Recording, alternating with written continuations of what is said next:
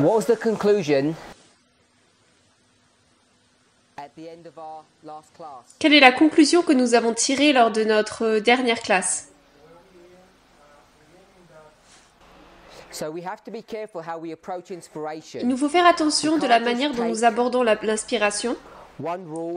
Nous ne pouvons pas prendre simplement une règle ou une stratégie. Nous devons faire plusieurs vérifications. et cela c'est quelque chose avec lequel nous ne sommes pas familiers. Lorsque vous faites une étude, vous devez vérifier les choses de plusieurs manières. Et être attentif avant de tirer des conclusions. Nous avons dit dans nos cla- notre classe que beaucoup- plusieurs personnes ont tiré des conclusions beaucoup trop tôt et nous avons démontré parfois simplement, parfois beaucoup plus difficilement, qu'ils ont tort. Alors bien sûr, il y a beaucoup de versets dans la Bible dont nous avons une bonne compréhension en tant que chrétiens. Nous pouvons les, défendre de manière robuste. Et ils sont assez euh, euh, vraiment certains. Mais il y en a d'autres. Nous pensons les comprendre. Mais en les regardant de manière plus près, nous voyons qu'on non en fait. la raison est, ce n'est pas parce que nous n'utilisons pas de méthodologie. C'est à cause de la manière dont nous abordons les choses. Elle est trop limitée et étroite.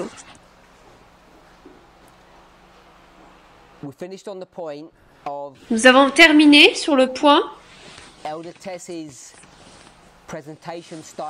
Du style euh, de l'ancien euh, Tess en tant qu'enseignant et ce que nous observons.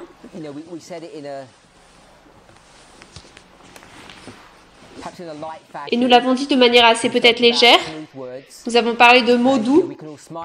et on peut tous ri- sourire à propos de cela, mais ce que je veux dire, c'est que ce n'est pas une preuve que le, improving, le, le style de- d'enseignement oh, s'améliore, mais c'est preuve que la ligne nous montre que le style d'enseignement change à cause du sujet et également là où nous nous trouvons sur cette ligne. Donc je pense que c'est là où nous nous sommes arrêtés. Nous avons 8, été dans Daniel 8 and we saw et nous avons vu que le thème, c'est cette controverse entre le peuple de Dieu ou le royaume de Dieu et le peuple de Satan ou le royaume de Satan. Nous avons vu comment fonctionne cette dynamique qui nous a permis de comprendre comment nous rapporter au verset 9, 10, 11 et 12 Without proving it, sans le prouver. Et sans, expliquer. Nous avons vu que le mot euh, perpétuel était utilisé différemment verses 11 and dans les 12 versets 11 et to 12. certain, Pour ça, c'était sûr. Et également 9, lorsqu'on allait dans le verset 9. you could also see Nous pouvions également voir comment euh, ce mot perpétuel qui est dans ce verset, même s'il n'est pas écrit, est différent des autres versets. Donc cela nous présente un principe important que nous devrions tous connaître. Les symboles peuvent av- avoir plus d'une signification. Nous connaissons tous cela.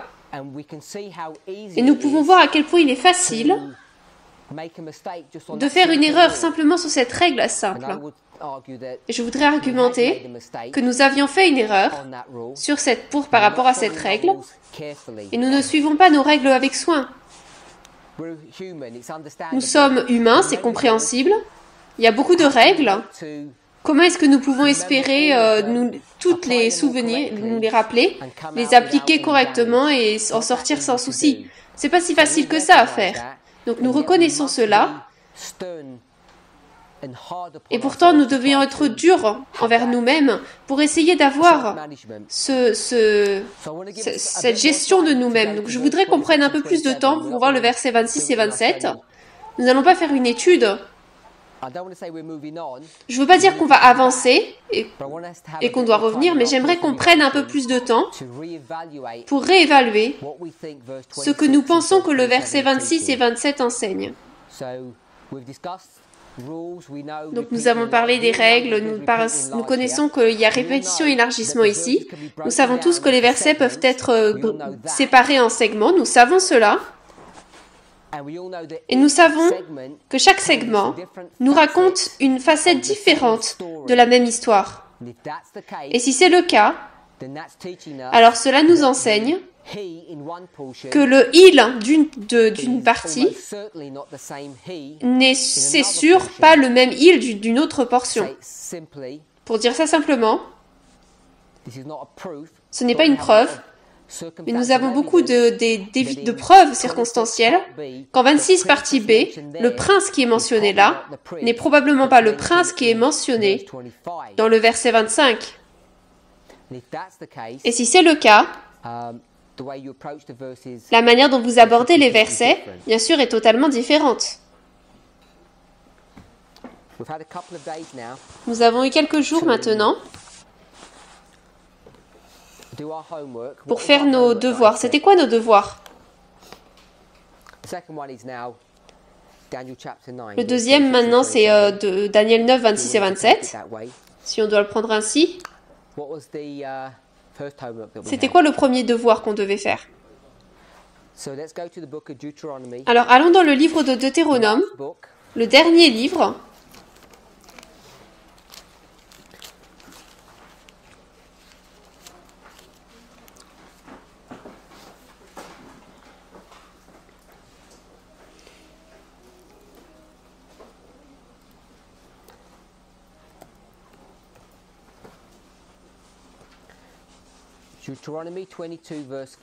Deutéronome 22, verset 5.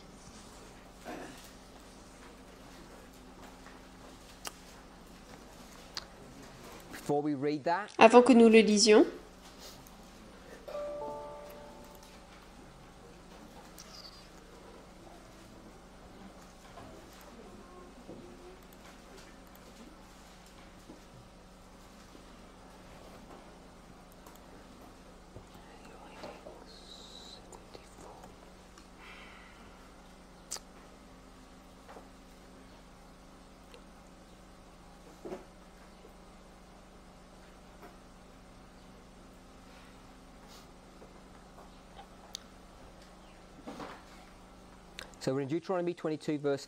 Donc, nous sommes dans Deutéronome 22.5 et avant de regarder ça, je voudrais regarder un passage de l'esprit de prophétie.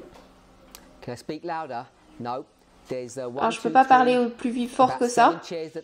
Il y a sept chaises devant. Si vous ne pouvez pas m'entendre, avancez. Avancez-vous.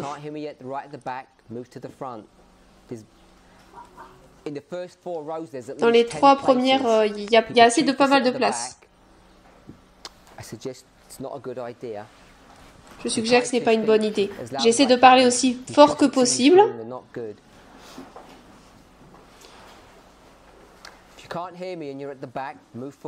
Si vous ne pouvez pas m'entendre, nous sommes dans Premiers écrits, page 74. Premiers écrits 74.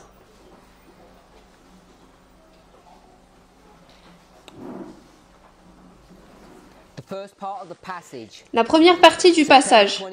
23 septembre 1850, le Seigneur m'a montré qu'il allait euh, rassembler son peuple. Il est parlé des cartes. Ensuite, elle dit, paragraphe 2, ensuite j'ai vu en rapport avec le euh, continuel que le mot sacrifice avait été ajouté par les hommes. Il n'est pas dans le texte. Paragraphe 3. Le Seigneur m'a montré que le message du troisième ange doit faire son chemin et être proclamé aux enfants de Dieu dispersés, mais il ne s'appuie sur aucune date. Paragraphe suivant. On me montra alors des gens qui étaient dans une grande erreur. Ils croyaient que c'était leur devoir de se rendre à Jérusalem où ils devaient faire une œuvre avant le retour du Seigneur.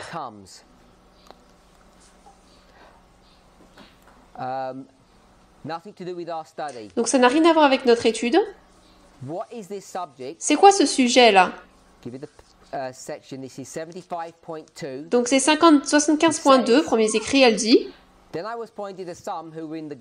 On montra alors certains qui étaient dans une grande erreur, c'était leur devoir de se rendre à Jérusalem et ils avaient une œuvre à faire avant le retour du Seigneur.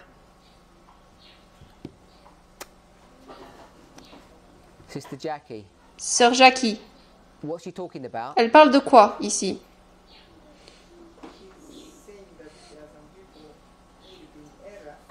Elle dit qu'il y a des personnes qui sont dans l'erreur. C'est quoi cette erreur? Penser qu'ils doivent en- retourner à Jérusalem? Et c'est quoi le problème avec ça not sure, um,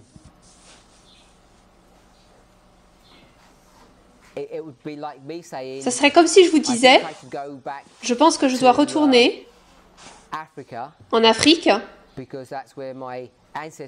parce que c'est de là que them." viennent euh, mes ancêtres et donc je veux les aider. Mais ça serait bien ça, n'est-ce pas? Ils ne comprennent pas le sens du spirituel et du littéral. Ils ne comprennent pas la relation entre le les juifs littéraux ou l'Israël littéral et l'Israël spirituel. C'est quoi le problème? C'est quoi ce- cette erreur est là?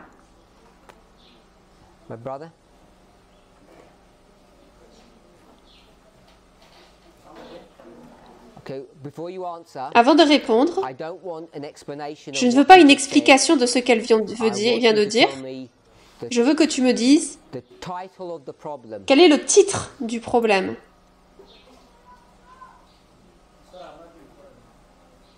Okay, it's fine.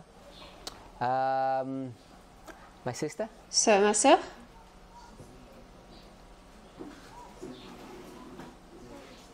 You're not sure? Tu es pas sûr? This is revision from a previous class. Ça, c'est de la révision d'une classe précédente. What's the issue? Frère Andrew, c'est quoi le problème? Elle- parle du troisième ange dans le paragraphe d'avant. Le Seigneur m'a montré que le message du troisième ange. Donc c'est pas le troisième ange.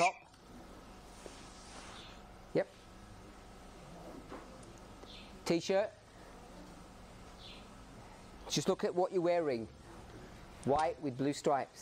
Donc le frère qui est euh, au t-shirt blanc et bleu. C'est quoi le problème là We're going back, I don't know, three or four classes Là, on retourne à trois ou quatre classes auparavant.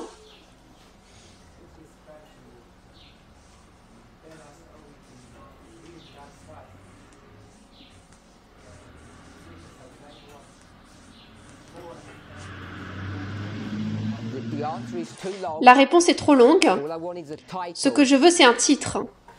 Je veux un titre de ce qui se passe ici. Quel est le problème So if I started reading, Donc si je commençais à lire, Jésus uh, est allé du- d'une pièce à une autre, il a fermé du, du- une porte, il, il a versé du sang. Ce serait quoi le titre de ça? No, that wouldn't be the title. No.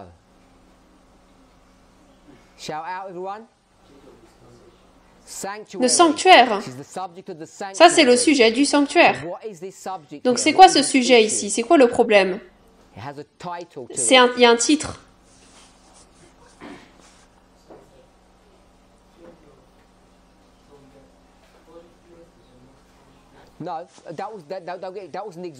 Non, ça c'était un exemple. C'est pas ce This qui est issue le problème. Là, le problème, c'est d'aller à Jérusalem. Elle dit n'allez pas à Jérusalem. C'est quoi ce problème-là? My sister with the glasses, the front. Not sure. Sister T'es pas sûr, Solange? My brother. Behind. So, why did they want to restore Jerusalem? Pourquoi est-ce qu'ils veulent restaurer le, Jérusalem? Ça, c'est pas le titre. Ça, c'est ce qu'ils font, mais ce n'est pas le titre.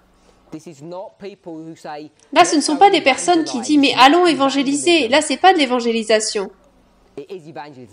C'est de l'évangélisation, mais ce n'est pas de l'évangélisation normale. C'est un- une évangélisation spéciale. Et c'est quoi le problème là?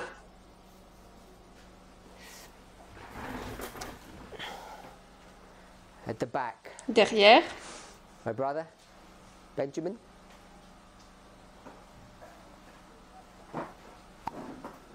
No, not Benjamin. Yeah.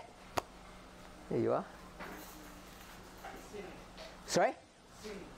It's not the ceiling. ce n'est pas le scellement.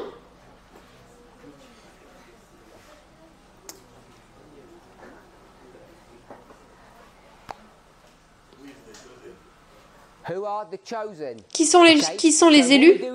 Alors, ce qu'on fait là, c'est qu'on on essaie de trouver nos propres titres.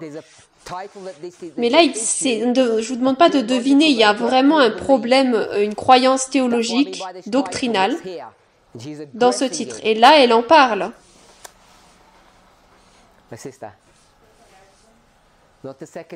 Pas le second retour, second avènement. Le sujet du avant le second avènement, quelque chose doit se Um, passer.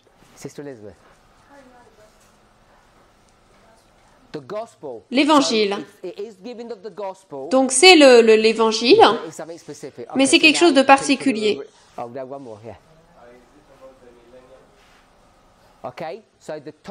Donc le titre c'est qu'on donnerait aujourd'hui. Pour ce problème, le millénium serait un bon un bon titre. Donc là maintenant c'était sur la, le bon le bon sujet. On parle du sujet du millénium. Et comment est-ce qu'on appelle ça aujourd'hui?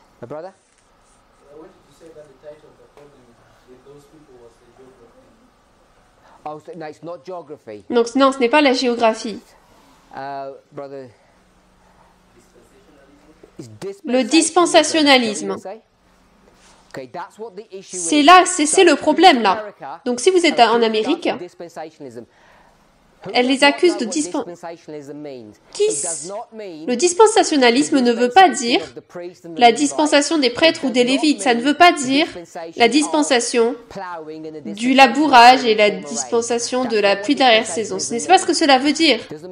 Cela ne veut pas dire la nation juive et la nation chrétienne. Qu'est-ce que le terme dispensationalisme veut dire?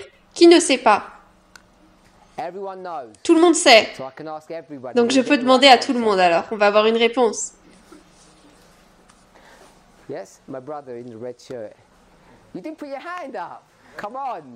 Vous n'avez pas levé la main. Soyons interactifs. Je veux vraiment savoir qui ne comprend pas ce qu'est ce problème. Donc vous n'allez pas euh, participer, ok, donc on sera silencieux, on n'aura pas de classe.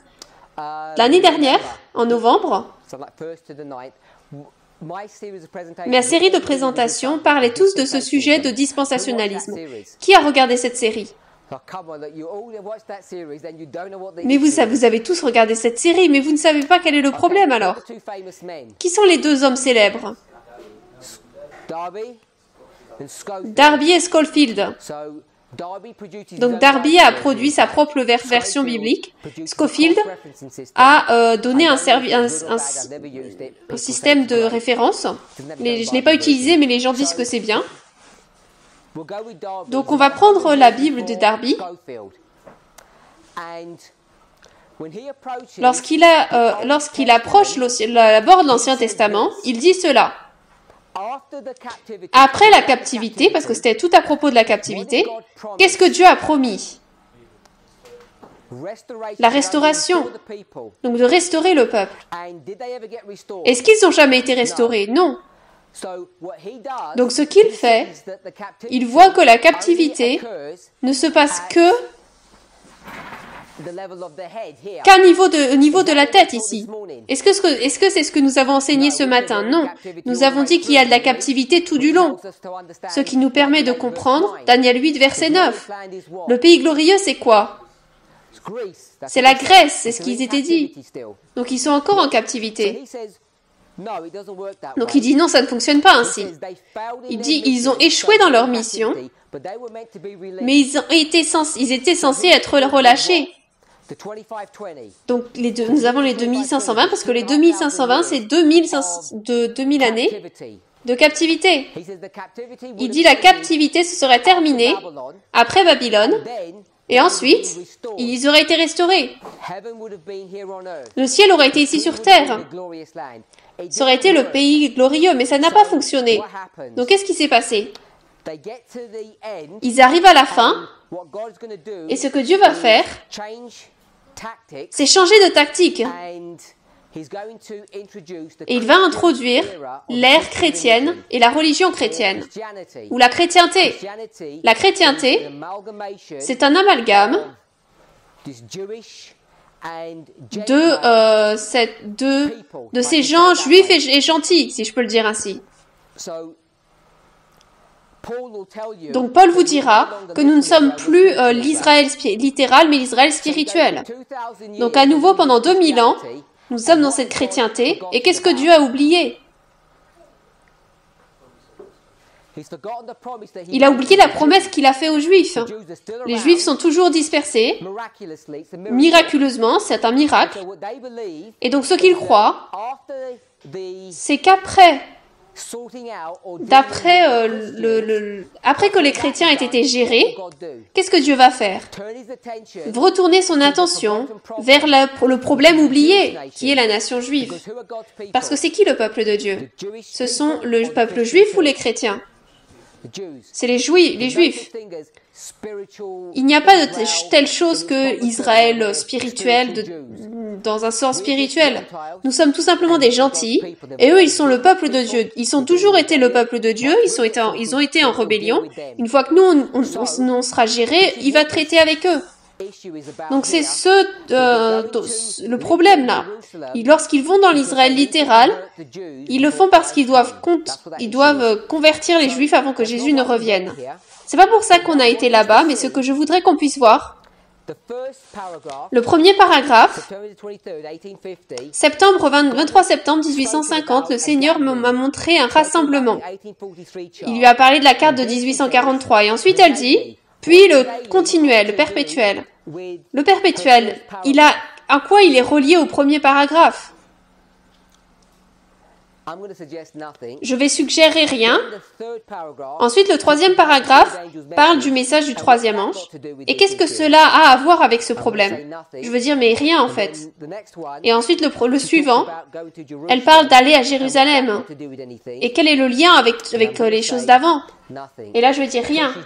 Donc, elle traite de pensée indépendante. Bien sûr, toute l'écriture nous est profitable, donc tous, tous peuvent avoir une pour nous. Donc dans ce sens, il y a une relation. Mais là, ce sont trois ou quatre problèmes qu'elle euh, nomme. 1, 2, point 1, 2, 3. Faites ceci, ne faites pas cela, n'allez pas là-bas, etc. Des, points séparés. Pourquoi est-ce que je dis cela? Je dis cela parce que nous sommes dans Deutéronome 22, verset 5.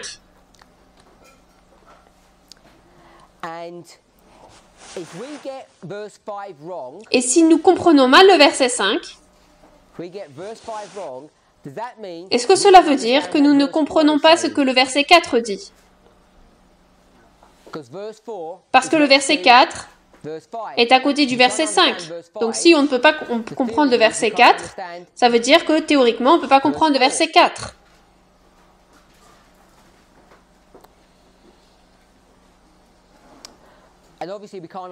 Et bien sûr, on ne peut pas comprendre le verset 5.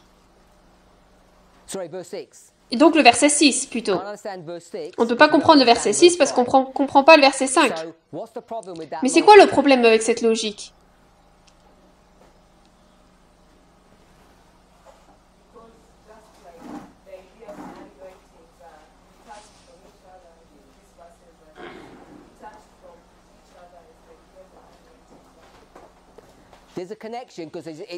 Il y a un lien parce qu'il a dit ne faites pas, ne faites pas, ne faites pas, ou faites. Donc il y a un lien parce que ce sont des instructions, mais elles ne sont pas des points connectés. Ce ne sont pas des points connectés. Donc si vous en comprenez un mal et un bien, on peut, on peut, on peut le faire. Donc mettons ce, ce, ce, cet argument. Euh, parce que les gens vont dire si vous ne pouvez pas comprendre le verset 5, alors vous ne pouvez pas comprendre le verset 6 ou le verset 4 ou le 9 ou tous les autres versets. Nous savons que cela n'a pas de sens. Il y a certains sujets qui sont faciles à comprendre et d'autres qui sont, ne sont pas faciles à comprendre.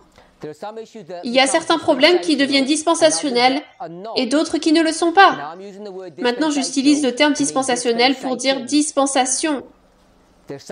Il y a certaines choses qui changent et certaines choses qui ne changent pas. Est-ce qu'on est d'accord avec ça?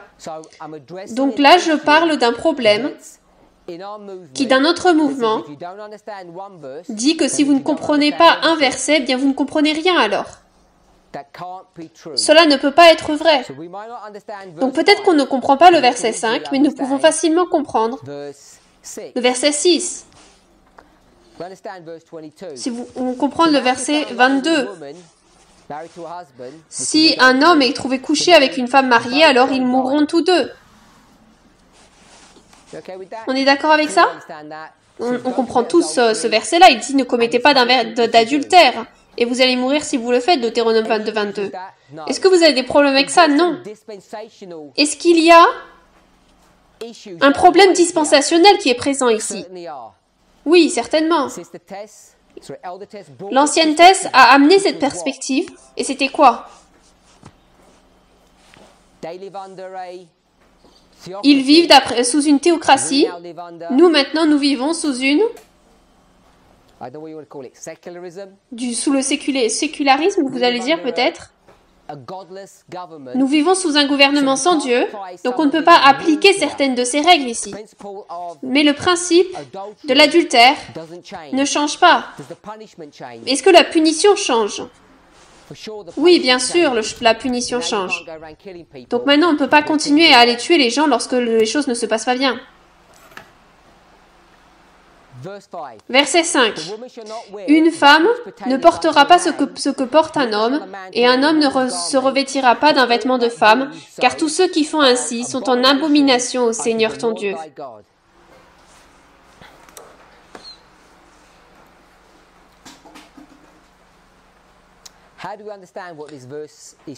Comment est-ce que vous comprenez ce que ce verset enseigne?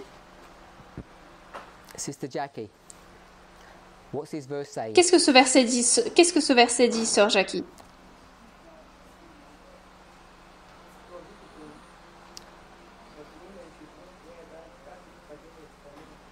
Okay, I don't know what pertaineth means. So Je ne sais pas ce que veut dire euh, ce, ce qui appartient à un homme. So a woman Donc une femme ne peut pas, ne peut pas porter, so a woman can't wear ne peut pas porter les vêtements qui appartiennent à un homme. Est-ce que ce- c'est ce que ce verset dit pour toi? Donc s'il pleut, on ne peut pas prendre, euh, je ne sais pas si vous êtes marié ou pas, mais euh, votre, votre frère, euh, le, le- le manteau de votre frère. Est-ce que c'est ce que ça veut dire?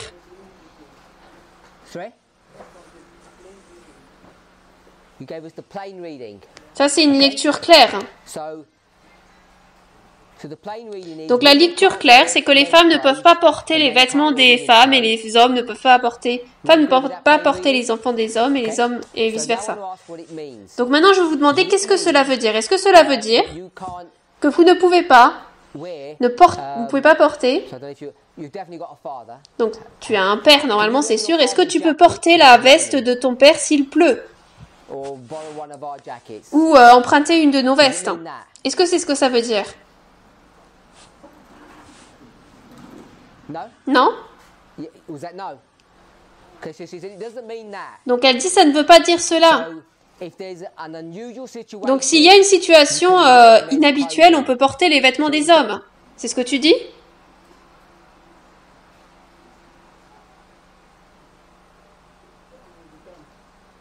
it would be depend on what unusual means. Tout dépend ce que veut dire inhabituel. Quelles sont les circonstances inhabituelles? Donc, nous sommes pris dans la pluie, et vous venez chez moi, et vous êtes toutes trempées, et moi j'ai des, euh, des pan- un pantalon de jogging. Je dis, mais put prends-le yours cela, et puis on va les, les tiens, on va les mettre à sécher. Est-ce que tu pourrais faire ça Or would you say it's breaking the rule? Ou est-ce que tu dirais que ça brise la règle? Est-ce que tu dirais que c'est une abomination de, euh, d'emprunter euh, mes jogging? Ce n'est pas une abomination? Est-ce que tout le monde est d'accord avec ce qu'elle a dit? Sa compréhension de ce que ce verset veut dire. Jusqu'ici. Dieu dit, les femmes ne peuvent pas porter les pantalons des hommes, mais s'il pleut, elle, emprunterait mes- ma, veste. Et si elle dit, je ne peux pas emporter ta, ta, ta veste, Je lui dis, mais tu es toute trempée, mets, tes, euh, euh, mets mes jogging jusqu'à ce que, euh, jusqu'à ce qu'elle sèche. Elle a dit qu'il n'y a pas de souci avec ça. Qui est pas d'accord avec ça. Qui dirait que c'est une abomination qu'elle qu'elle emprunte mes jogging ou pendant que les siens, euh, pendant que ses vêtements euh, séchaient. Qui dirait qu'on ne devrait pas faire ça? Tu es en désaccord?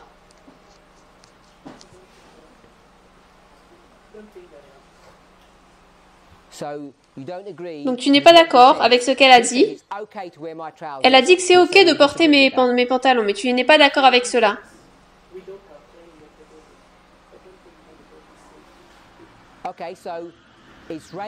Donc il pleut. and we'll take this from a sexist perspective. Donc c'est d'après une perspective sexiste. Ta sœur a une, un, ta sœur a un parapluie rose parce qu'il appartient à une femme. Et tu dis-. Tu dis, ben non, c'est rose, je ne peux pas le prendre parce que ça appartient à une femme. Elle- I think this verse is specifically talking about if you read all of it is cleansing racial garments. Not umbrellas. Donc pas de parapluie?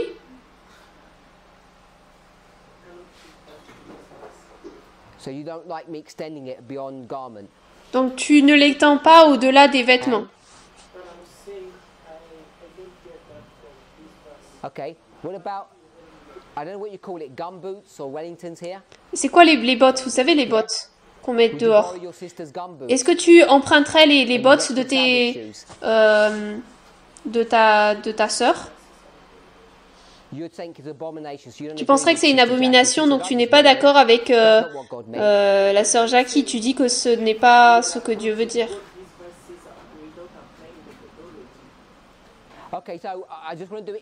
Ok, je veux le faire dans différentes étapes. J'aimerais plusieurs étapes. J'aimerais savoir qu'est-ce que tu penses qu'est l'intention de ce verset. De lecture euh, simple.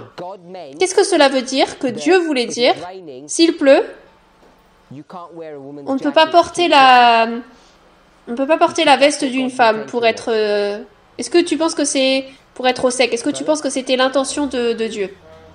With whom? Do you agree with William? Donc est-ce que tu es d'accord avec William If you see the plain reading of the word here is black and white that men should not wear that which pertains to women. Le verset dit noir sur blanc ici que une femme doit pas porter les vêtements d'un homme. Very clear that you cannot put men clothing or women clothing. Okay. Yeah, and the issue of umbrella, I don't, I don't think whether you could wear umbrella. And also, because umbrella is not something we cannot be wear, so I hope you talk about it. So you go to a shop Donc tu vas dans un magasin et il y a une des soldes. Ils ont tous ces vêtements et ils les ont mis dans une pile. Et ce sont des vestes. Tous des, donc c'est des vestes blanches. Tu dis j'ai besoin d'une veste et tu l'achètes. Vous prenez votre taille, vous l'essayez et lorsque vous rentrez chez vous, vous le mettez pendant une semaine et ensuite vous regardez et "Oh, vous it's dites a lady's vest." Eh mais en fait c'est une veste de femme. Donc ça veut dire que vous devez vous repentir et ne jamais porter la veste euh, à nouveau parce que c'est une abomination.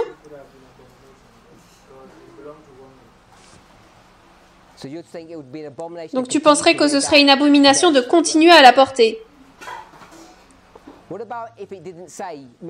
Mais s'il n'y avait pas marqué homme ou femme, So it is unisex. donc si c'était une veste unis, unisexe, ce serait une abomination unisexe.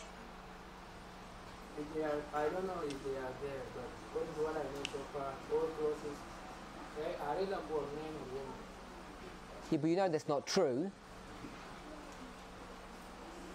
You know it's not true. Tu sais que ce n'est pas vrai.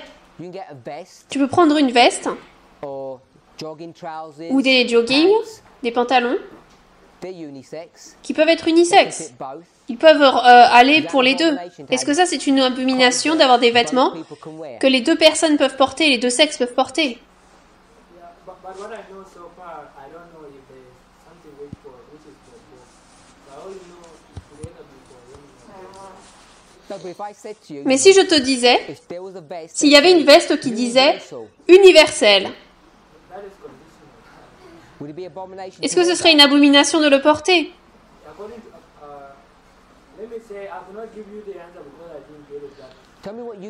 Dis-moi ce que toi tu penses.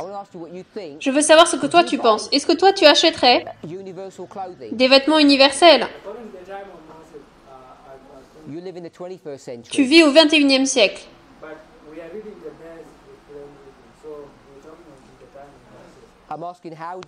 Je te demande comment est-ce que tu interpréterais ce verset pour toi? Est-ce que tu irais dans le magasin maintenant et achèterais-tu euh, une veste, un vêtement, qui dit hommes et femmes, c'est bon. Est-ce que tu serais ok de porter cela? Donc toi, tu ne l'achèterais pas.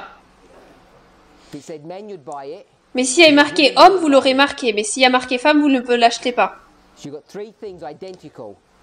Donc si tu as trois choses qui sont identiques, l'un dit homme, l'un dit femme et l'autre dit unisexe, mais c'est exactement le même, tu penses que c'est une abomination d'emporter deux d'entre eux, parce qu'il y a un titre dessus. Est-ce que c'est comme ça que tu lis ce verset?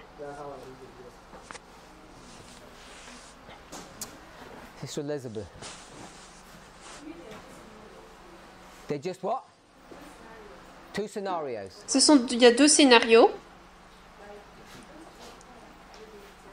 You got to speak loud.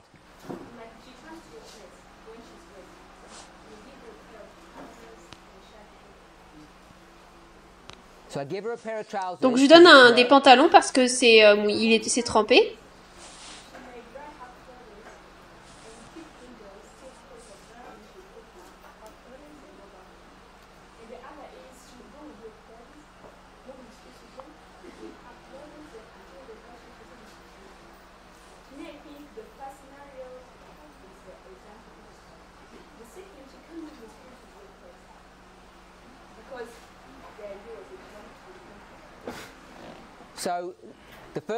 Donc le premier scénario, dans euh, notre propre maison, elle peut porter dans notre dans le dans le la pri, dans, dans la cercle privé, on peut, mais si on je t'amène chez toi, on ne peut pas faire. Mais c'est une différence entre le porter en, en, en privé et en public. Parce que si c'était en public, qu'est-ce qui se passerait?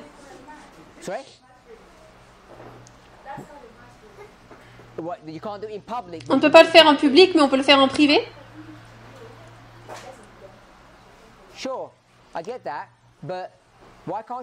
Mais pourquoi est-ce qu'elle ne peut pas prendre ses pantalons, les porter pendant la semaine et dire quand tu iras euh, chez toi, elle va dire bah tu les redonnes et il dit euh, eh ben en fait tu, tu les tu les tu les laveras et tu me les redonneras. Elle doit pas les porter?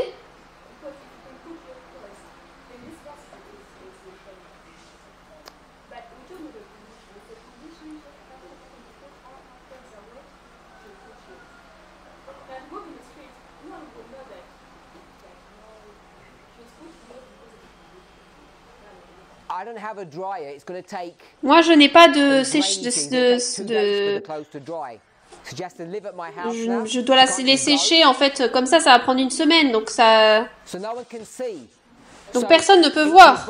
Donc l'abomination, c'est dans le à la vue de l'humanité et non pas à la vue de Dieu. Parce que maintenant, vous vous inquiétez de ce que les gens vont penser, pas de ce que Dieu pense.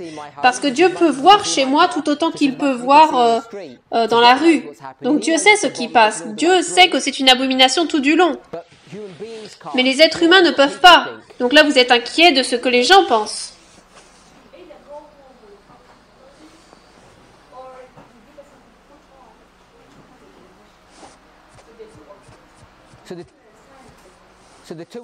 Donc les deux options, c'est soit elle porte les vêtements de des hommes, soit non. Peu importe où est-ce qu'elle les porte. Peu importe où elle les porte, soit dans la rue ou chez moi, peu importe, n'est-ce pas? Ça importe pour qui? Pour les gens. Donc ce verset traite et dit, c'est une abomination pour les femmes de porter les vêtements des hommes en public mais pas en privé. Parce que c'est ce que tu viens de dire. Est-ce que c'est pas ce que tu viens de me dire? Tu l'as dit, tu l'as fait.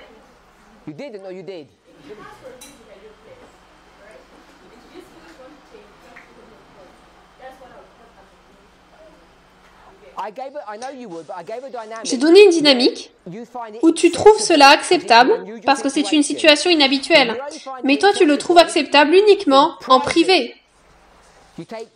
Tu prends la même situation et tu l'as dit, elle ne peut pas, tu dis en fait qu'elle ne peut pas sortir de chez moi parce qu'on ne peut pas rendre cela public. Donc maintenant, tu prends ce principe, comme quoi on peut faire les choses en privé, mais on ne peut pas les faire en public.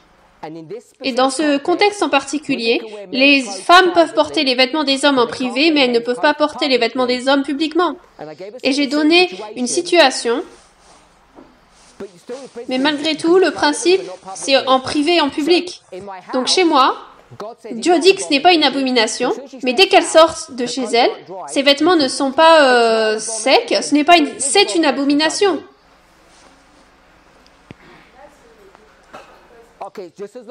Donc, tant qu'on sait qu'on est en différence.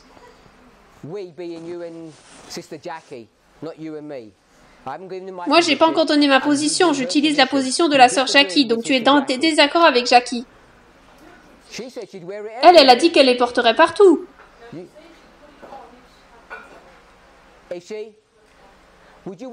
Est-ce que tu porterais euh, le pantalon en sortant?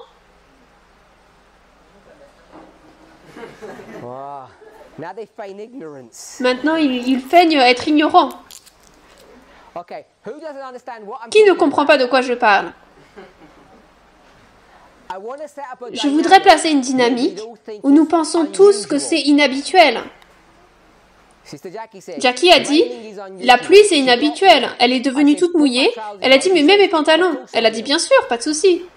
Moi j'ai dit, je vais les mettre dans le sécheur, séchoir. Donc c'est un peu 20 minutes. Et donc Dieu, euh, ça sera une abomination que pendant 20 minutes, donc c'est bon. Elle n'a pas vraiment pensé ça, elle a dit c'est pas une abomination parce que c'est une urgence.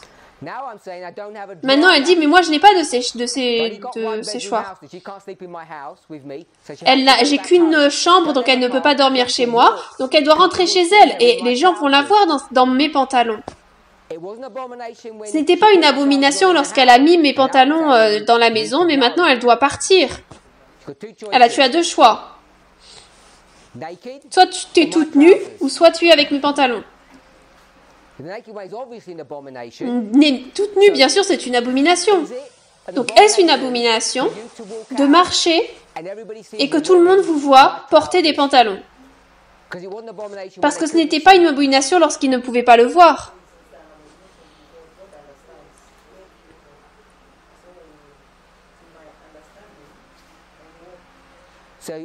Donc comme j'ai dit, je suis sûre que c'était sa position.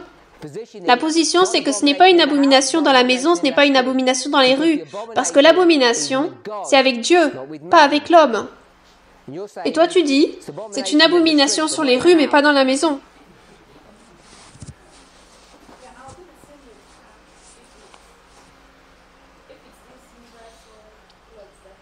Ce n'est pas universel. Ce sont mes vêtements, ils sont pas des, pas des vêtements unisexes.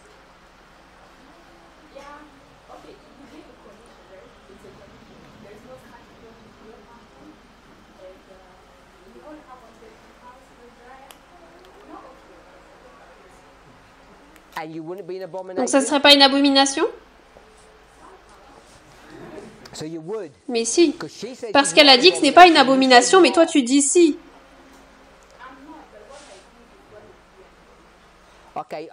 Donc je vais reformuler alors. Ce qu'elle a fait n'est pas une abomination et ce que tu as fait est une abomination. C'est comme ça que tu l'as dit. Elle, elle s'en fiche. Et toi si. Tu as dit que c'est une abomination aux yeux de cette personne et tu as dit, elle a dit que ces versets c'est une abomination aux yeux de Dieu. Elle, elle s'importe euh, ce que elle importe pour elle, c'est ce que Dieu fait qui importe que Dieu pense.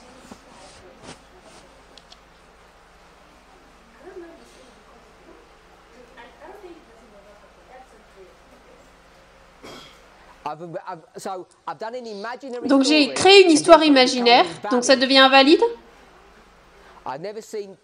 Je n'ai jamais vu des, euh, des hommes qui se transforment euh, en brebis et Jésus en berger. Donc le Jésus et le berger, c'est euh, une, histoire invalide, mais on va en faire une application spirituelle. Moi, je, peux, je suis certain qu'avec 7 millions de personnes sur les 6000 ans, il a plu un jour et une femme a dû, a dû porter les pantalons euh, d'un homme. Je ne pense pas que c'est un exemple fou. Je pense que c'est euh, une histoire euh, véritable de la vie qui peut se passer qui s'est déjà passée. Moi, je l'ai vu dans les films, donc ça doit être vrai. Quelqu'un d'autre? Comment est-ce qu'on aborde ce verset Is your hand up? No? Yes? Is that okay? I think uh, if you the verse, yeah, ways that Two ways to pr- approach a verse. The Il y a deux manières d'aborder un verset, une bonne manière et une bonne manière. Soit nous considérons l'esprit de l'écrivain ou notre état d'esprit. So, like what you were asking, either can you wear a woman, can a woman wear? Even it is uh, in the condition given, is not an abomination. Something to do with common sin is not an abomination. It's a condition making it there.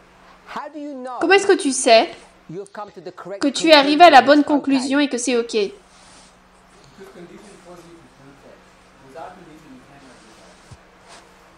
Comment est-ce que tu sais quelle était l'intention originelle du verset? Que lorsque Moïse l'a écrit, il a dit, bien sûr, s'il pleut, c'est OK. I'm not saying this is the intent, but I would say if I'm addressing the question that you was asking the sister and the brother, then I would agree that it's not an abomination to do that.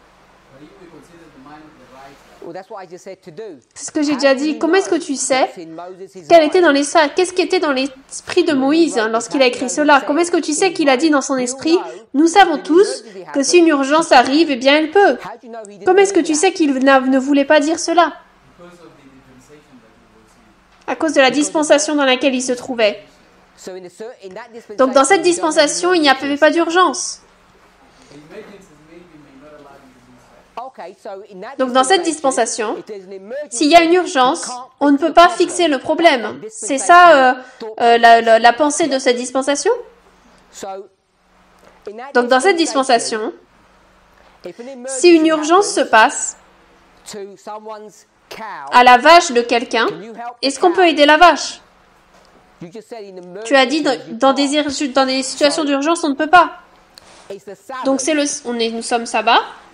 Donc dans cette dispensation, est-ce qu'il t'est permis d'aider la vache le sabbat? Tu as dit que dans cette dispensation, les urgences um, ne dépassent pas la règle. La règle a dit, ne faites pas de travail.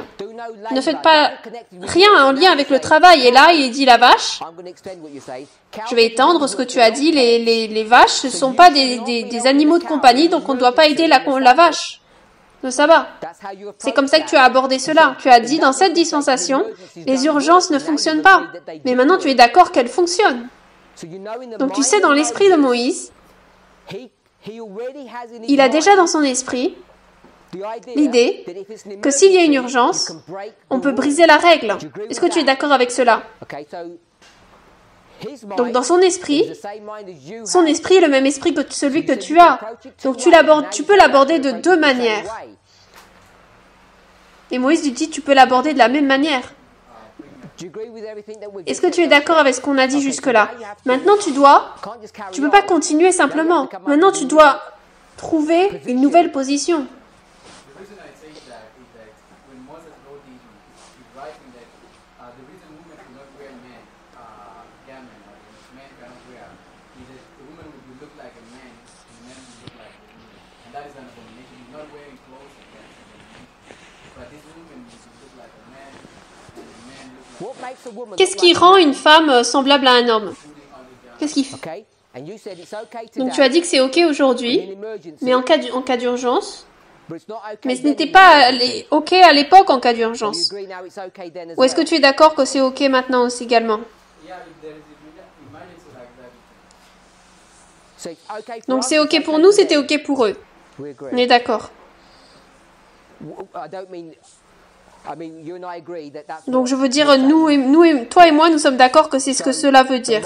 Donc dans l'esprit de Moïse, si tu vas dans la maison de "Borrow quelqu'un, il pleut, il dit trousers." emprunte mes pantalons, tu dis c'est ok, il n'y a pas de souci, je vais les porter. Dieu a dit c'est bon, tu n'es pas en abomination. C'est ce que Moïse veut dire. Quelqu'un d'autre Oh, at the back.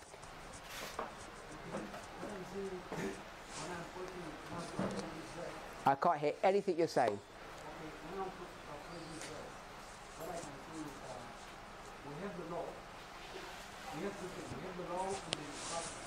We have the law. Nous avons la loi et les instructions.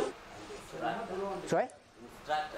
We have the law and the instructor. Nous avons la loi et l'instructeur, le- We have the law and l'enseignant.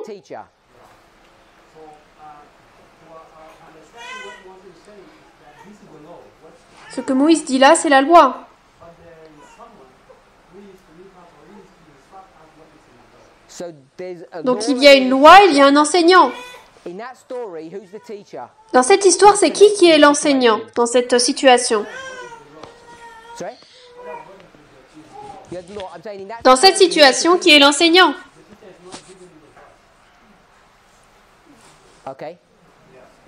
Donc nous avons la loi.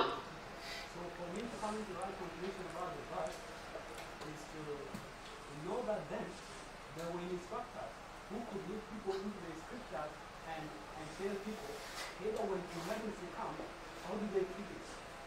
Okay? The law is left there, and then the teachers will be instructing people, when emergency comes, how do they treat this? So there are some teachers Donc il y a des enseignants qui vont dire que lorsque les urgences arrivent, c'est comme ça qu'on fonctionne. Parce que le peuple ne peut pas euh, deviner cela lui-même. Donc à l'époque, le peuple ne pouvait pas deviner eux-mêmes cela. Pourquoi est-ce qu'ils ne pouvaient pas le faire? Pourquoi est-ce qu'ils avaient besoin d'un enseignant pour le faire pour eux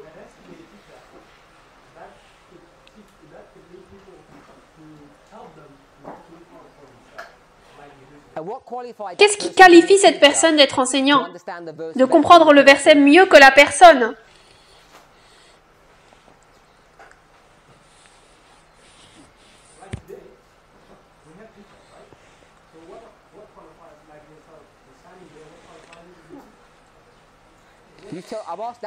C'était ma question. Maintenant, toi, tu me dis la réponse. Aujourd'hui, c'est pareil. Il a dit, aujourd'hui, c'est pareil. Nous avons des enseignants. Qu'est-ce qui les qualifie Which is?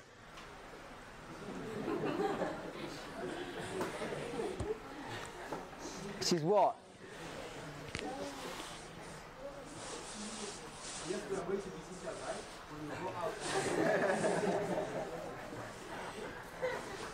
Which is what?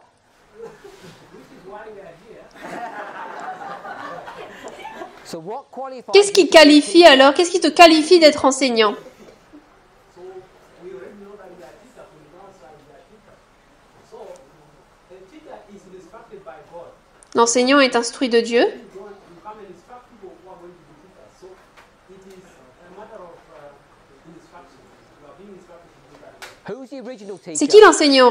Who's the original one that was instructed by God? qui a été instruit par Dieu. Donc Moïse.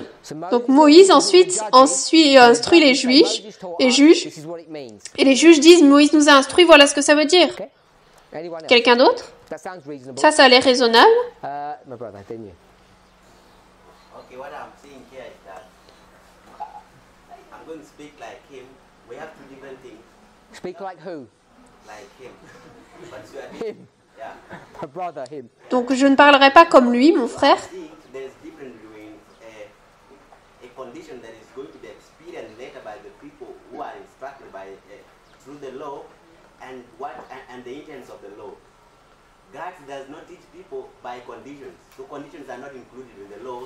But Les conditions ne sont pas incluses dans la loi. Dieu ne n'enseigne pas les conditions dans la loi.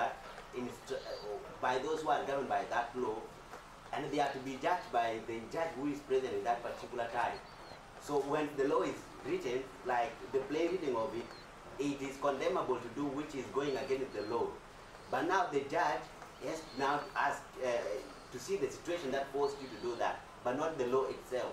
Law doesn't speak, doesn't know any conditions, but it work out that which is indicated there. So I'm saying in the plain reading, you, it is abomination to do anything that is going against the law.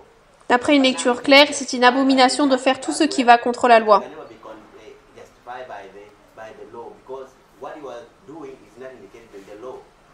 Okay? Stop there that you cannot wear what pertains to the woman. And that is abomination. Full stop. So if you want to wear a Donc, si tu n'étais pas conscient des blouses, de, des, des vêtements de la femme, 'cause I'm a judge, donc je suis juge, and you're going to say, is it okay? tu vas, tu vas demander donc est-ce que c'est ok? Tu vas me dire c'est quoi la situation? Tu dis voilà la situation. Et dit je dis c'est bon. C'est ce que tu viens de dire.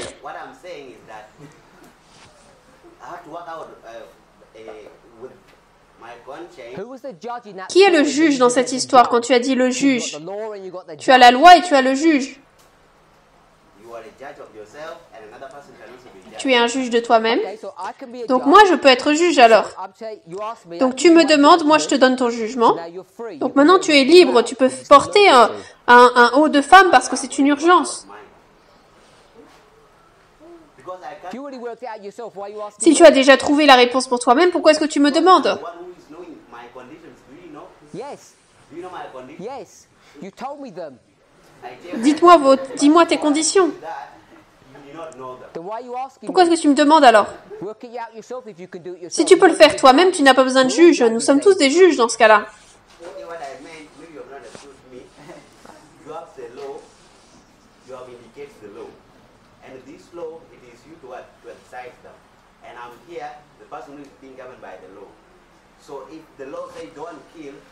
have a condition that is forcing me to kill, I have to kill, and now the law will hold me guilty because I've broken it, isn't it?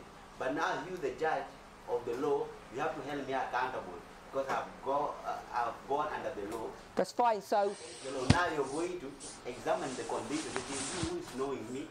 Now you're going to investigate. So- Why do you do this and who decides Qui décide? if you're an abomination? si tu es une abomination, toi ou moi? Me, myself, Tu as dit que c'était moi. Qui est laquelle? quelle définition est la meilleure? Donc moi je suis le juge alors ce n'est pas toi. Mais de faire tu ne peux pas te justifier toi-même. La seule personne qui peut justifier c'est un juge. Moi je peux justifier, toi tu ne peux pas.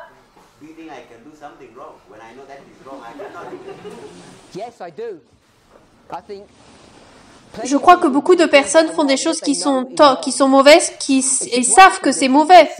Ils se justifient eux-mêmes parce qu'ils pensent qu'ils peuvent être juges. Et en réalité, ils ne sont pas de juges. Ce sont des faux. Donc si vous êtes un juge, alors je n'ai rien à faire avec cela. Mais si je suis juge, alors tu ne peux pas avoir de juge. À moins que tu dises que tu es un, juge plus bas, un juge plus haut de la Cour suprême, tu peux dire ça, ça c'est sûr. Nous avons dit parabole.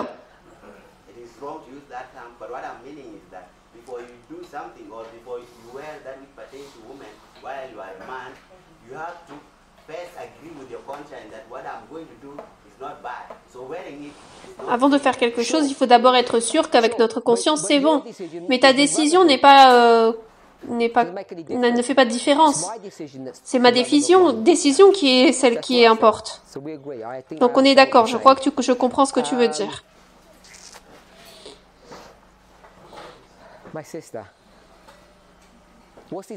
Qu'est-ce que ce verset dit pour toi Sorry? Qu'est-ce que je peux dire should Je vais te dire ce que tu dois dire.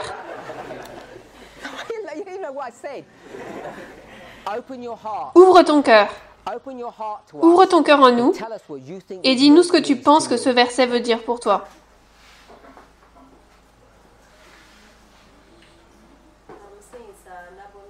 Je vois que c'est une abomination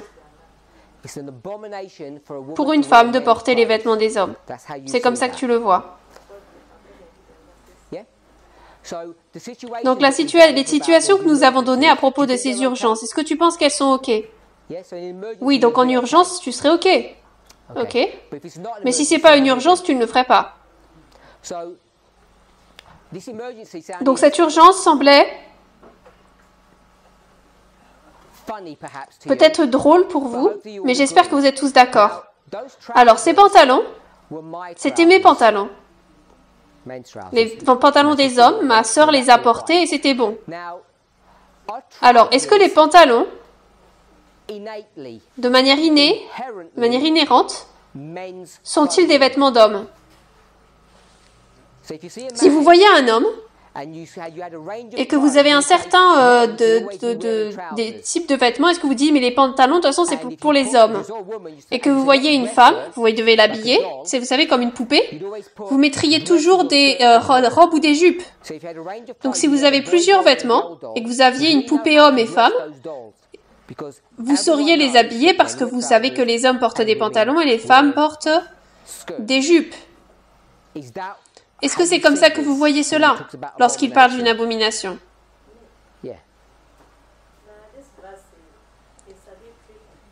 Ce verset est un peu un piège.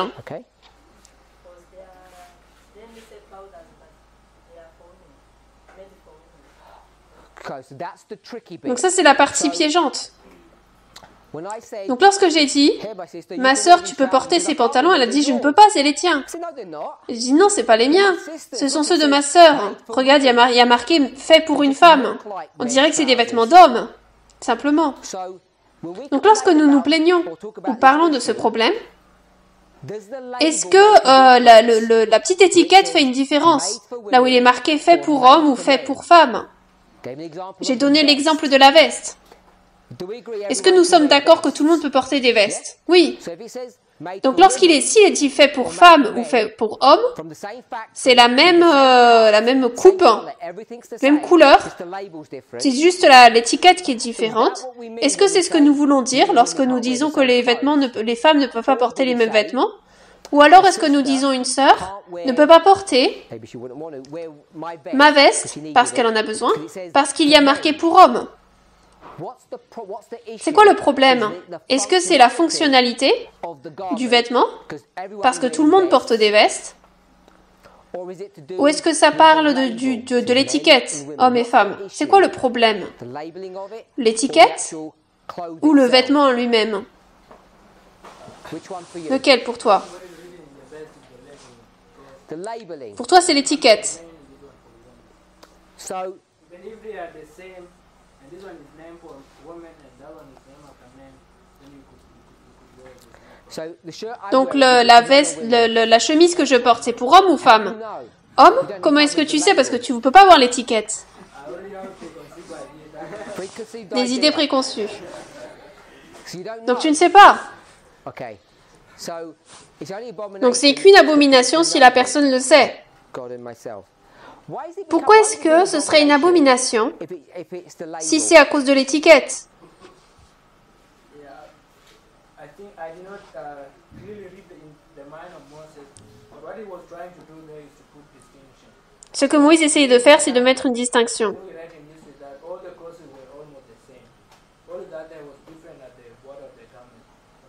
La différence pour eux, c'était en bas de leurs vêtements, sinon leurs vêtements étaient similaires. answer that. The main reason that he brought all these things is this, but the answer I could give her is to bring distinction between women and men. So the women Donc les femmes portent des bords, des roses et les hommes des bords bleus. bleus. On sait qu'ils ne faisaient pas cela. Est-ce que ce c'est est-ce que c'est ce que Moïse voulait? Les hommes doivent porter du bleu et les femmes roses. Is that- I'm not getting your question right, but what I'm just saying there is that uh, what was in the mind of Moses is to put distinction. Though they are the same clothes, then you should put a little bit of distinction on a name that is one belong to women and this one belongs to men. Okay. My brother. Why? Pourquoi? Pourquoi est-ce que Moïse? Pourquoi est-il préoccupé de ce qu'un homme porte? Quelle différence est-ce que ça fait? Si je portais la veste d'une femme. Quelle est la différence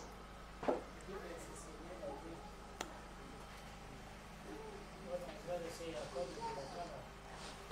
to? No, I, I know, I, I get that. I'm saying, what difference? Quelle différence est-ce que cela fait? Est-ce que ça vous rend moins homme? Est-ce que ça transforme les femmes en hommes? Quel est le problème avec une- le fait qu'une femme porte ma veste? ou mes, mes chaussures? Quel est le problème avec le- les femmes portent, que, les femmes portent ces vêtements? Pourquoi est-ce que c'est mauvais?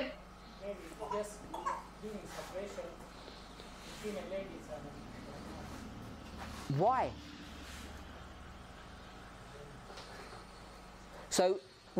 Donc lorsque vous vous mariez et que vous vous réveillez, je dis je croyais que c'est, je croyais que tu étais une femme, mais tu es un homme parce que je n'avais pas réalisé parce que tu portais des pantalons.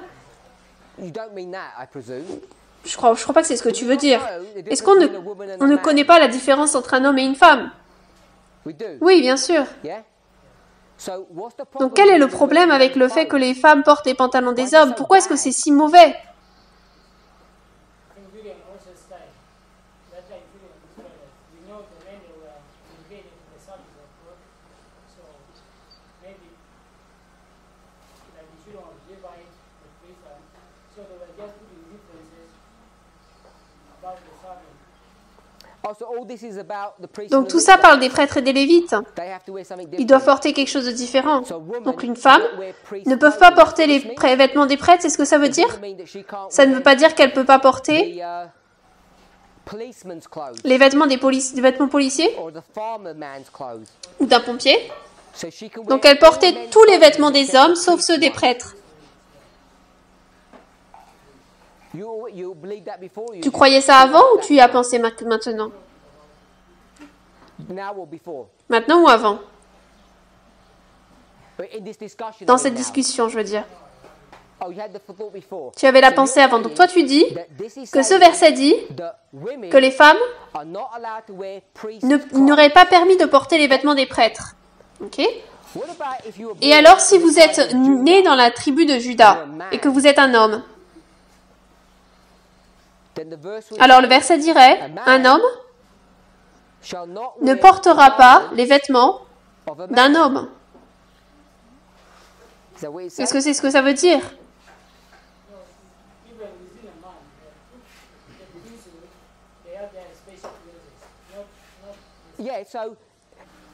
Donc il est dit une femme. La manière dont tu lis le verset, une femme ne portera pas ce qui appartient à un prêtre. Il dit un homme. Et ensuite, tu vas avoir une version qui dit l'homme ne portera pas ce qui appartient à un prêtre. Il n'est pas dit prêtre, il est dit homme. Donc les femmes ne peuvent pas porter les vêtements d'un homme et les hommes ne peuvent pas porter les vêtements d'un homme. Parce que tu changes le mot homme en prêtre. Est-ce que c'est raisonnable? Est-ce que c'est raisonnable?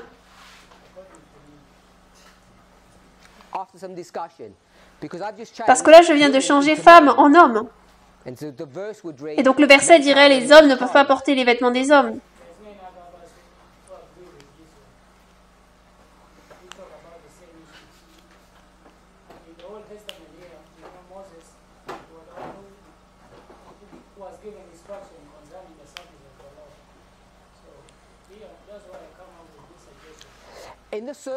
Dans le service du Seigneur, peut-être que certaines personnes qui connaissent leur Bible très bien pourraient trouver le passage. Il dit, nous allons faire un parfum particulier et personne, homme ou femme, ne pourra répliquer ce parfum chez vous. C'est unique, ça vous donne la liste d'ingrédients et vous pouvez uniquement faire ce parfum pour le sanctuaire. Est-ce que quelqu'un connaît cela? Peut-être que quelqu'un peut trouver ce passage. Donc, de cette manière, il est dit que personne. Il n'est pas dit homme ou femme là. Et ensuite, Il est parlé des vêtements des prêtres. Et il vous a dit que c'est un type spécial de vêtements et il n'est permis à personne de répliquer cela. Donc je ne peux pas penser que ce verset parle Du fait que les femmes ne peuvent pas porter les vêtements des prêtres. I don't think it's- I don't think it's Je ne pense pas que ça se rapporte à cela. Béatrice. Comment est-ce que tu lis ce verset?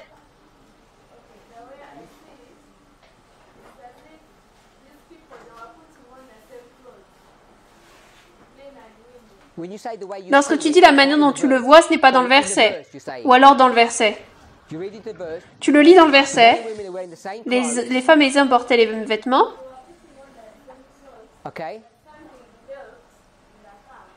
Okay. Something develops in the camp. quelque chose se, se développe dans le camp.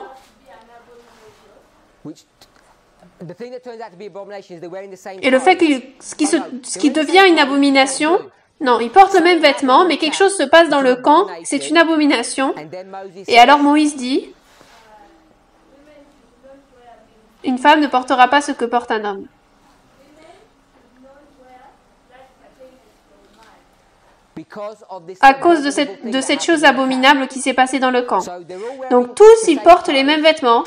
Dieu est, Dieu est content. Pas de problème.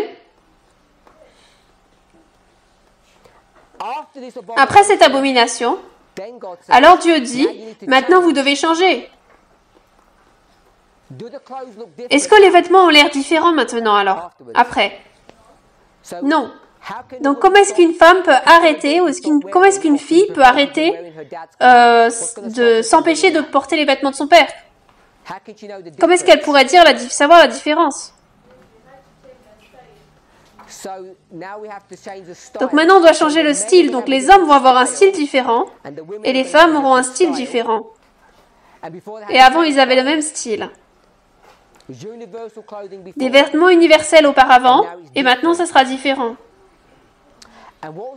Et c'était quoi l'abomination qui s'est passée alors? Est-ce que tu sais s'il y avait une abomination qui s'est passée? Ou est-ce que tu devines simplement?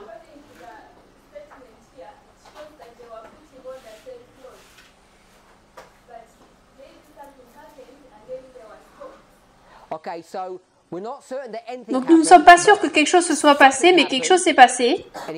Et ça doit être ça a dû être quelque chose de mauvais. Et maintenant Dieu dit on ne peut pas porter les mêmes vêtements. Est-ce qu'on peut penser à un scénario où cette version fonctionnerait? Que maintenant tout est bon si vous portez des vêtements différents, mais c'est des mêmes types de vêtements, mais une coupe différente. Donc les hommes portent des vêtements euh, larges et les femmes des vêtements euh, serrés. Ou alors les femmes portent des vêtements larges et les hommes des vêtements serrés. Quelqu'un qui n'a pas parlé.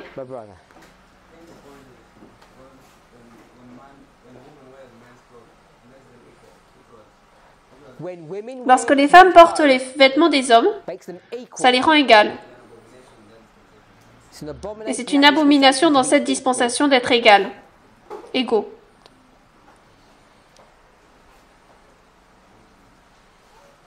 My brother. Well, I might, I may oppose what the brother tried to say because biblically God has not specified the garment for, for the man and the garment for the woman. So how can we tell that this was pertaining to the woman and this was pertaining to the man? We have not been given the model of the design of the pants or whatever. We don't know if men used to wear pants. And Donc le principe says qu'il dit, c'est que s'ils portaient les vêtements, deviennent- equal, ils deviendraient égaux. Et que c'est une abomination. Il a mis entre guillemets dans, dans leur dispensation. Et toi, tu as dit le problème, c'est que dans toute cette discussion, uh, ou peut-être dans sa discussion, c'est qu'on ne sait même pas ce qu'il portait. On ne sait même pas ce qu'il portait. Et la raison pour laquelle nous ne savons pas ce qu'il portait, c'est pourquoi? Pourquoi est-ce que nous ne savons pas ce qu'il portait? Tu as dit? Parce que Dieu a créé l'homme et la femme.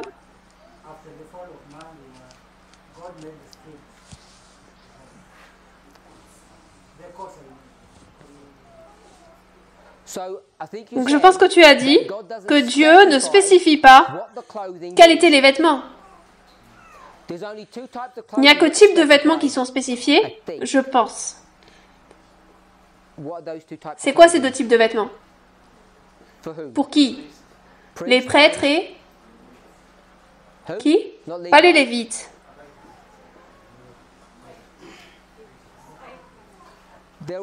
Tout ça, c'est des prêtres? I don't think he specified. Je ne pense pas qu'il spécifie. oh, Il a dit, has oh, un soldat peut porter They ça. Ils l'ont deviné eux-mêmes. Qui est l'autre groupe?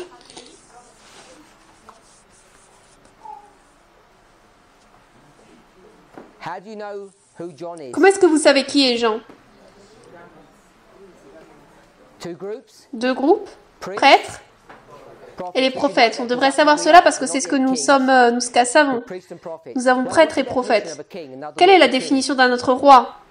Dictateur. Ça n'a rien à voir avec notre étude. J'ai juste jeté comme ça. Donc prêtre et prophète. Les prophètes portent un type de vêtement particulier, n'est-ce pas? C'est comme ça que vous savez qui il est. On est d'accord avec ça Lorsqu'il est dit qu'il est un homme euh, plein de, poils, ça ne veut pas dire qu'il a plein de poils. C'est pas seulement parce qu'il, en fait, si vous avez vu les posters que FFA avait fait pour euh, pour l'Afrique du Sud, vous avez vu leur poster? C'est quoi qui est mauvais avec ce poster?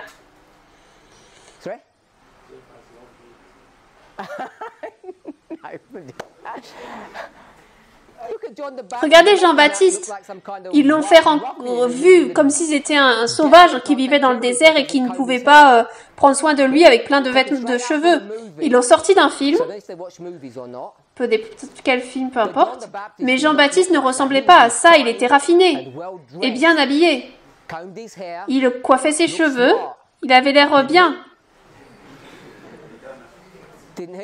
On ne sait pas en fait.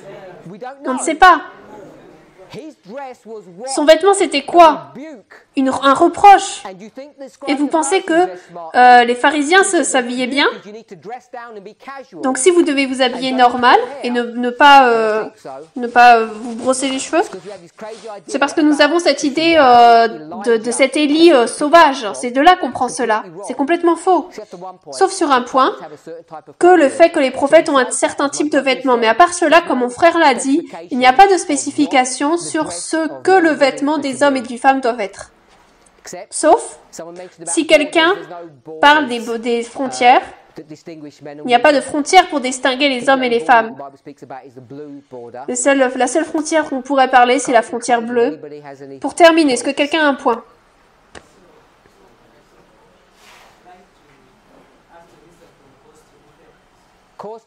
Cause à effet.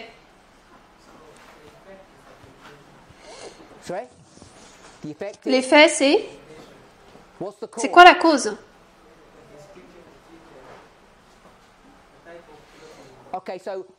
Donc, ce que tu as fait, c'est dire, les versets bibliques disent que si on porte les mêmes vêtements, la cause, l'effet, c'est l'abomination. Ma question derrière cela, c'est pourquoi est-ce que c'est une abomination? Qu'est-ce qui est si abominable à propos de cela?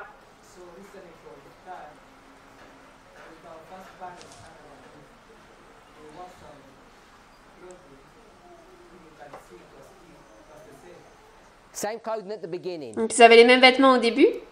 Ensuite,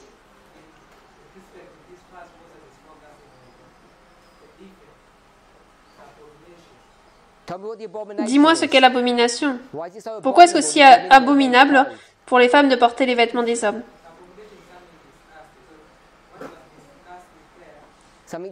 Quelque chose de dégoûtant? Je veux savoir pourquoi est-ce que c'est dégoûtant?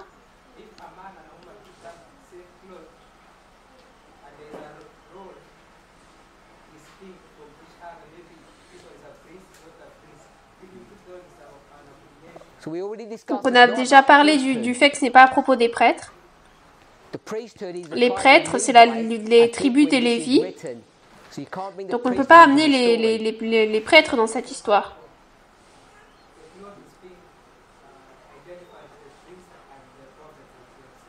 Donc on laisse ça de côté. Maintenant, c'est quoi le problème avec un homme normal et une femme normale qui portent les mêmes vêtements? Pourquoi est-ce que c'est une abomination?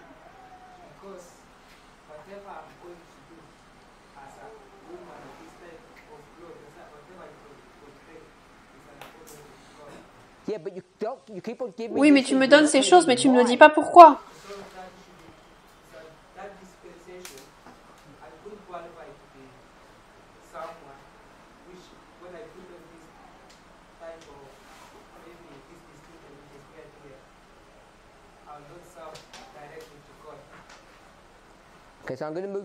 Je vais avancer parce que je ne pense pas que tu ne, tu ne réponds pas à ma question.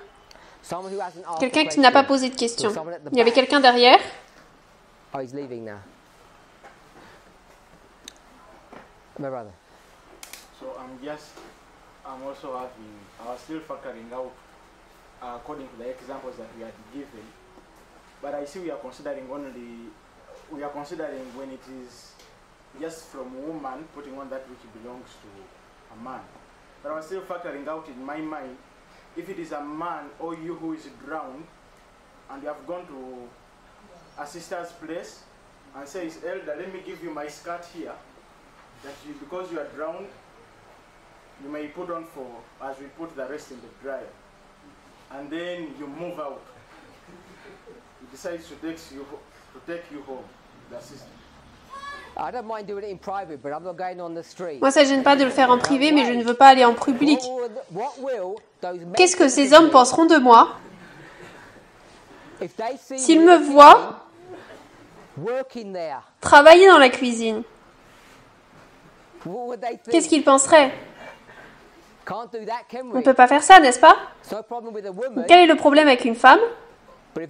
Mais si c'est c'est pas un problème pour une femme, mais si c'est un homme, a man to go out walking the streets in a skirt. est-ce qu'on veut qu'un homme sorte euh, avec une, une jupe dans la rue? If it works with a woman, because my agreement is, I agreed with that it is fine for a woman Yeah. to move in a trouser. But I'm saying it works on two sides. Both So- are abominations. So you okay in a skirt? Donc toi, t'es ok de porter une jupe? Parce qu'il dit que ça, passe, ça va des deux côtés en fait. Si une femme est ok de porter des pantalons. I'm the teacher. Je suis l'enseignant. okay, last one. I'm sorry. Dernier, on n'a plus de temps. uh, okay, my sister. Yeah, you haven't said anything. J'ai une question. I want to know the reason why the word pattern is being put there. Because, Pattern. yeah, Pertaineth. yeah. So why why is it that you said that pertain to man and pertain to woman if they were everywhere? Okay, so we'd have to go into. You saying pertaineth is only for one. Donc tu as dit que other. le, ce qui, ce qui, les vêtements qui appartiennent pour... euh, premièrement, il dit les vêtements qui appartiennent et ensuite les vêtements d'un homme. Il n'est pas dit appartenir pour les deux.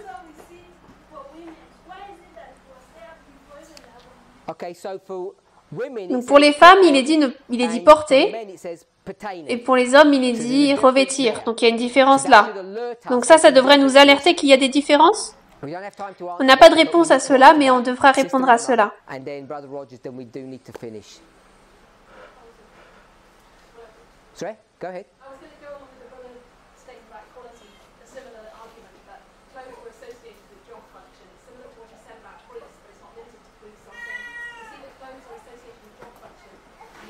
Donc elle dit que les vêtements sont associés avec la fonction, euh, le travail qu'on fait. Role swapping. Et donc ça voudrait dire euh, qu'on échange de rôle. the practice of the custom had some connection with the To the heathen hidden one. world. So it's some Donc ça a un, lien avec le monde des païens. Uh, On doit s'arrêter. On a- bien dépassé le temps. Uh, On va prier?